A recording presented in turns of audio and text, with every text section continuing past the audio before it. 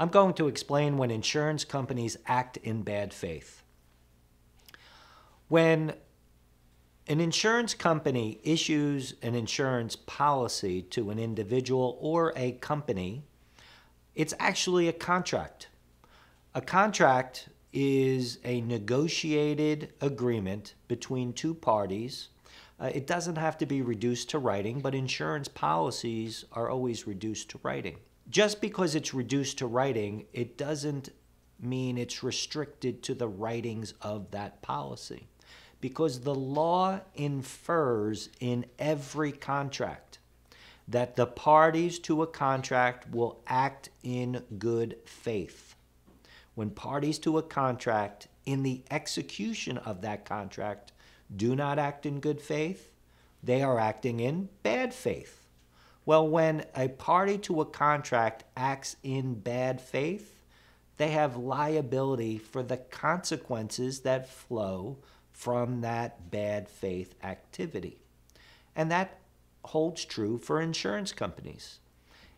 Inferred in every insurance policy is that the insurance company will act in good faith. Well, what does act in good faith mean?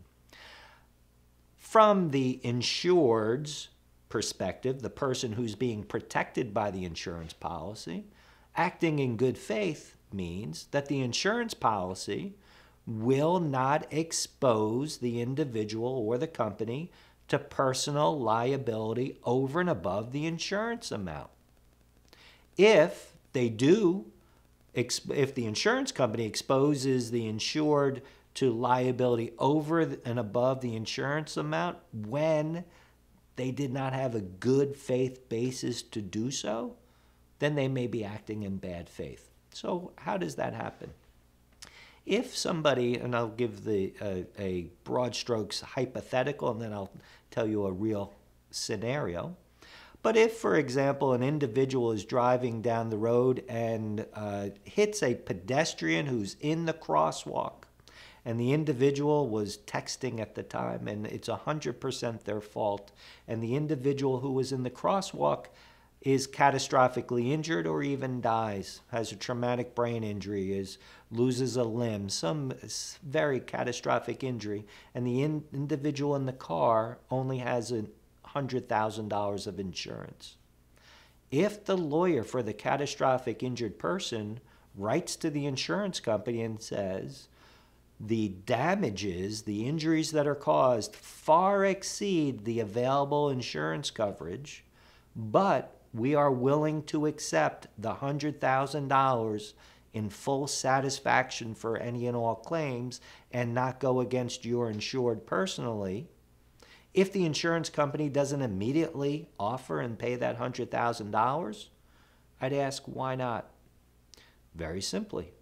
The insurance company is making a decision not in the best interest of their insured. They are not acting in good faith, but rather they're making a decision that puts their interest, the insurance company's interest, above their insured's interest, which is contrary to what the insurance policy requires, and in turn acting in bad faith. Now, if the insurance company offered 90,000 out of the 100,000, that is an act of acting in bad faith. The lawyer for the injured person does not need to accept it. And here uh, I'll extend the hypothetical. They don't accept it. They pursue a jury trial. A, a jury awards hypothetically a million dollars. Now the individual insured owes 900,000 to the person they've catastrophically injured. But they never would have owed that if the insurance company acted in good faith. So the insured, the individual who paid the premiums to the insurance pol- to the insurance company and who caused the catastrophic injury, now has their own claim against the insurance company, saying you represented me in bad faith, exposed me to $900,000 excess verdict, and which you need to pay. So what often happens is that insured is going to bring that lawsuit for the benefit of the injured person. So what can happen is that insured, the person who was once a defendant, can assign their rights or their claim against their own insurance company to the injured person's lawyer to pursue that uh, additional $900,000 for the benefit of the injured person. That is the short version of what a bad faith claim is, where the insurance company acts in bad faith. They put their interests ahead of their insured's. Now, the scenario I just outlined for you related to liability insurance. When the liability insurance company has an obligation to protect their own insured from a personal judgment. Now, how about when uh, an insurance company does that, but against their own insured? That they had underinsurance, which I've outlined for you. And if you're not clear on what underinsurance, I encourage you to, to search for uh, the video blog that outlines underinsurance. It's very important information. But if an insurance company doesn't pay the full amount of insurance that's owed their own insured, then they have responsibility and liability for acting in bad faith because there's a presumption in the contract of insurance companies paying that which they're supposed to pay. So uh, there's one scenario uh, I've handled multiple bad faith cases, uh, but I'd like to share this one because it's it's little insightful as to how devious insurance companies uh, often are, uh, and they need to be uh, watched every step of the way. I represented an individual who uh, was fortunate enough to have $300,000 of underinsurance. He was hit by an individual that only had uh, $50,000 of insurance.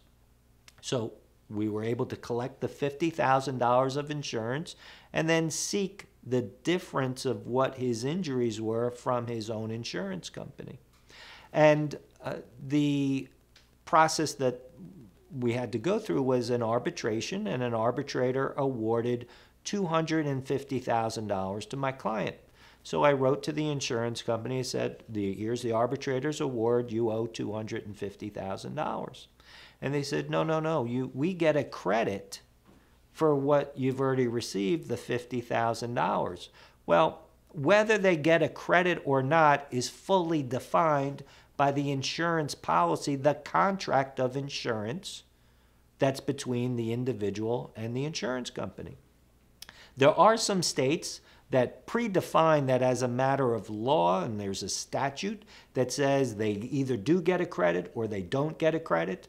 And if there's no state law that defines whether they receive a credit, the insurance company receives a credit for what the injured person has already received, then it's limited to what's contained in the contract. And the state where I represented this individual was defined as to what's in the contract.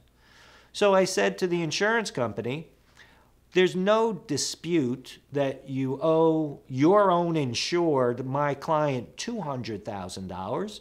And really all we're fighting over is whether or not you owe the other $50,000 that they've collected from the insured, or do you get a credit for it? So why don't you pay the $200,000 now?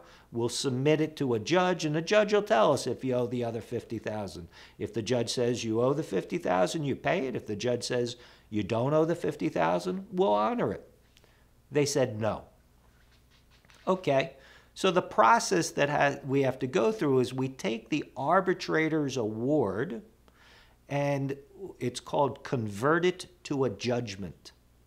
So we took the arbitrator's award and we converted it to a judgment, and we served the judgment on the insurance company. The insurance company said we only pay you uh, 200,000. That then makes it ripe to go to a judge.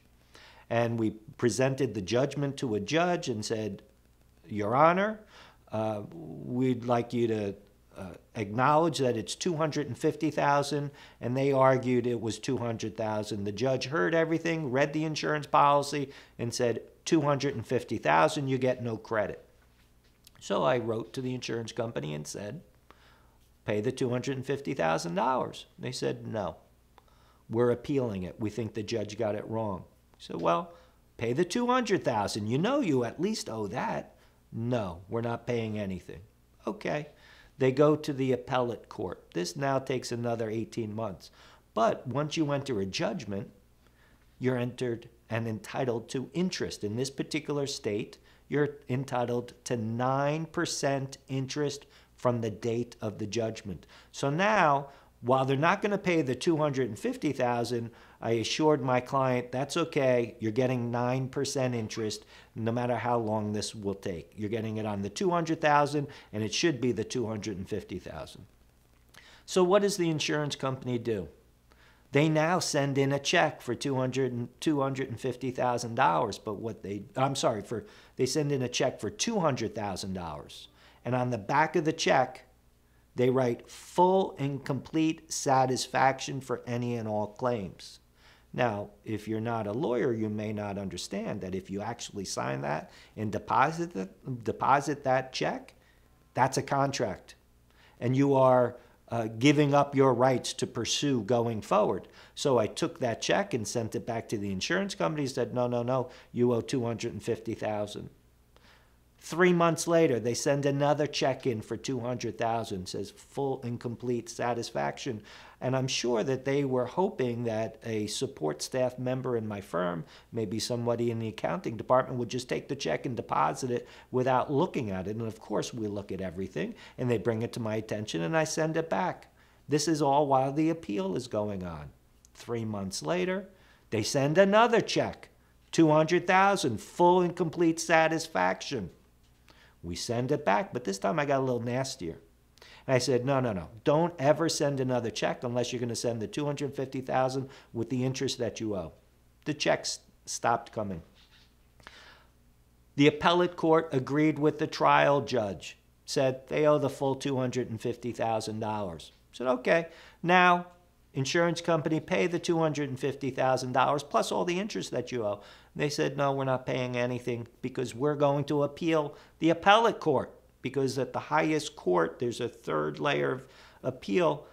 It was insane to even think that that highest level of appellate court would take it because they only accept cases on appeal if there's a constitutional issue or there's a, a, difference in the law in multiple jurisdictions within the state, of which there was not.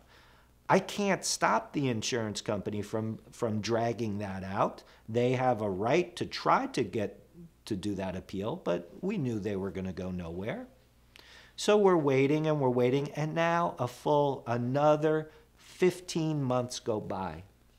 And, and what I'm sharing with you, I hate to date myself, predates the internet. It's when we used to get the actual law, law uh, journal and read the newspaper. And that, the way you discovered whether or not the highest court accepted the appeal, you physically got the newspaper and you would read through the newspaper and you, they didn't tell you when it was, it was just in the newspaper. So after 15 months, not hearing a word, all of a sudden we get in the mail a check for $200,000. And on the back it says full and complete satisfaction. Said, These bastards, what are they doing?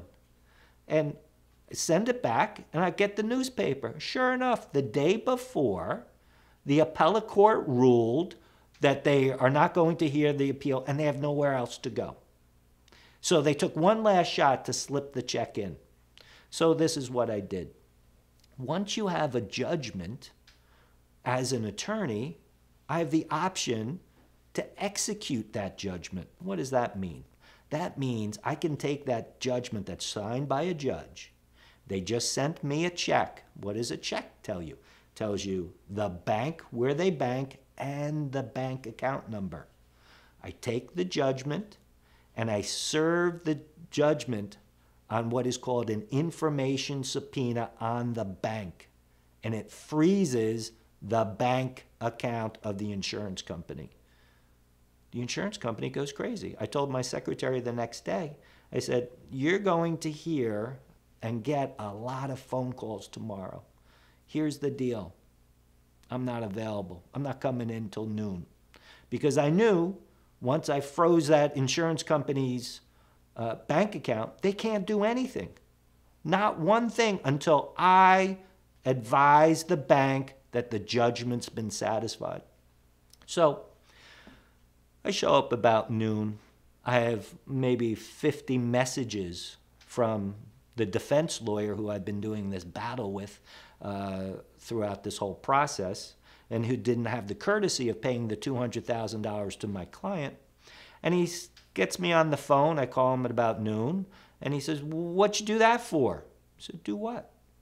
He said, What'd you freeze the insurance company's bank account for? And turns out, I subsequently found out, it wasn't just where they pay claims out of, they also uh, make uh, payroll out of that. And it happened to be payroll week, and all the payroll checks bounced.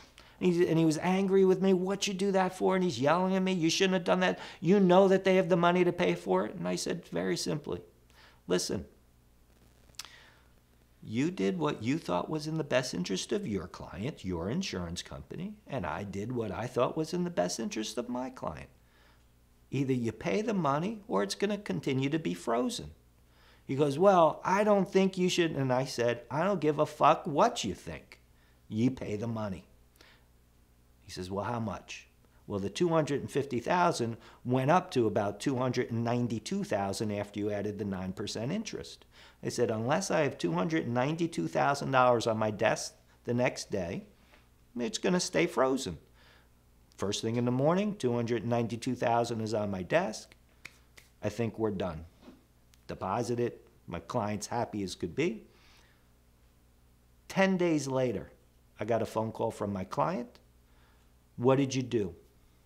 What do you mean, what did I do? The insurance company just served a lawsuit against me, which was 16 paragraphs claiming that, uh, that he uh, exploited the insurance company for too much insurance. And then within 15 minutes of hanging up the phone with my client, they sued me as well. So they sued my client and they sued me, claiming there was too much insurance, uh, I'm sorry, too much interest being charged. Well, the reality is, I told them 292,000. They really owed 293, 292,000, probably 400. But I always, I always make sure I added up a little bit less. But the guy didn't do his math. All he did was sue me and my client. So rather than just call him up and say, "Oh, that's okay, don't worry about it," and and explain it to him, I countersued him. I countersued him. I countersued the insurance company. I told him it was malicious prosecution. You're acting in bad faith. And we had now a whole new lawsuit. Well, what happened was the lawyer for acted out of anger because I told him off on the phone uh, and made him pay every penny that he owed my client uh, he got so angry, he acted emotionally and started a frivolous lawsuit. Well, just because he started a frivolous lawsuit doesn't mean we have to accept the frivolity of that litigation. And we countersued him, saying you commenced that frivolous lawsuit and acted in bad faith and uh, several other claims. Suffice it to say, his lawsuit was 16 paragraphs against us, our countersuit was 124 paragraphs back at him. Well, the insurance company is now on the hook. And the insurance company takes that lawyer off of the case and moves it to another lawyer. As soon as the new lawyer gets on the case, he calls me. First thing he says is, Look, you know, uh, I'm really sorry. This, he did that math the wrong way. And I'll tell you what, if you um, withdraw your countersuit, we'll stop our lawsuit. We'll drop the lawsuit that we brought against you. You drop your countersuit. Said, You can do whatever you want. My case is going forward. He said, Okay, then we're not going to drop our lawsuit against you. So the next step that happens is we, after going through the processes of a lawsuit, brought what's called a motion to dismiss the case against us.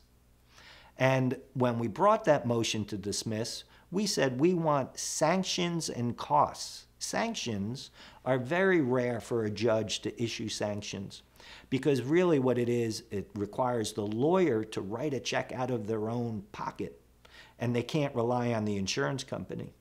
And we said we want sanctions for bringing a frivolous lawsuit that, that had no merit whatsoever and dismiss the case.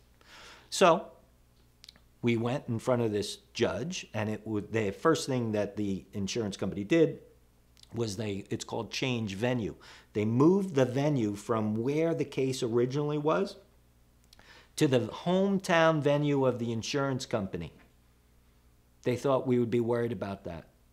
We go and to argue the case for the motion to dismiss and our seeking of sanctions. The judge, the first thing the judge said to me was, Look, in the 15 years or 18 years I've been on the bench, I've never sanctioned a lawyer before, ever. So why don't we just try to work this out? And I said, Judge, you sit with robes on. You have an obligation to hear the evidence and hear the proof. After you hear everything, if you decide that this action and activity of this insurance company and this insurance company lawyer doesn't require a sanction and you hold them in contempt, I will live by it. But I'm not going to drop it voluntarily until you hear everything. At which time, uh, he conducted a full hearing. I took the stand. I explained the story I just shared with you and I could see the wheels turning in the judge's head. The next witness to testify was the lawyer who sued me and my client. And remember, this is the lawyer who was hired by the insurance company that my client paid premiums to. That lawyer takes the stand, and the judge immediately asks him these questions Can I ask you this? Before you started the lawsuit against Mr. Finkelstein. Do you have other lawyers in your office? Yes, I do. Did you get up out of your chair and go to the office next door and say, Can you check the math? Because I'm about to sue a colleague and a lawyer who's doing what he thinks is in the best interest of his client. Can you check to see if they did the math right? Did you do that? And he said, No, I, I didn't do that. Said, okay. But now let me ask you this. After you brought the case to the other lawyer who did the math and determined that the math was done correctly, in fact, saved you $400, did you in fact stand, call them and say, we'll drop our lawsuit if you drop yours? He said, yes, I do. Said, That's not how professionals act when you've done wrong, you apologize and you make things right without conditions. You do not have a quid pro quo asking to drop a meritorious case against you so that you can protect yourself from a frivolous lawsuit that you brought. I sanction you $10,000. At which time, he had to pay me $10,000. But that's not the end of the story. Because then he called up and he said, Well, I guess this is over. I said, No, no, no, that's not over. We still have a claim for the frivolous lawsuit that you brought. All that the judge did was sanction you for doing the actions and activities that you did, but my client suffered harm and I suffered harm. You severed the relationship between uh, myself and my client because my client couldn't understand he did everything I recommended he do, do, and you sued him? There's damages related to that. Suffice it to say, they paid another $30,000 on top, and then the whole thing went away. So I tell you that story uh, as a backdrop to insurance companies. They don't always act in the best interest of the people who are paying the premiums to them. But at the end of the day, if you hold tight and you hold strong, they'll make good.